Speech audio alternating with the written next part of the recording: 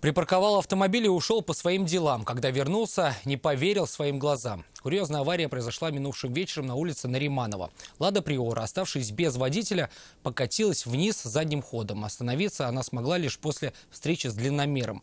Как так получилось, расскажет Алина Мусина. Давай. Не надо убирать, сейчас гаишники приедут. По рассказам очевидцев и участников аварии, вся ответственность за произошедшее лежит исключительно на водителе легковушки. Они рассказали, что в момент аварии шофер попросту отсутствовал в салоне машины. Чего ты нервничаешь? А? Чего ты нервничаешь? Полметра не хватило проскочить. Все нормально, чего ты нервничаешь? Все нормально. Нормально разговаривай. Ладно, не сами надо. живы, здоровы? Да, да. По предварительной версии, припаркованный автомобиль в какой-то момент самопроизвольно покатился назад. Судя по всему, хозяин транспортного средства просто забыл поставить его на ручной тормоз. Неуправляемая машина сначала выехала на встречную полосу, а после вернулась обратно и откатилась прямо на грузовик. Из-за длины фуры дальнобойщик не успел избежать столкновения.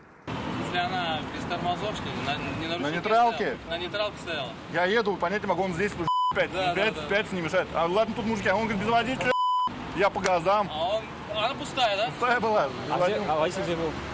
На рынок ходил. Забывчивость и помидоры, купить которые вышел водитель легковушки, вероятнее всего обернется для него крупными тратами. Мужчине с высокой вероятностью придется ремонтировать собственный автомобиль за свой счет. Впрочем, ему еще повезло. Неизвестно, где и при каких обстоятельствах остановился бы его автомобиль, если бы не грузовик.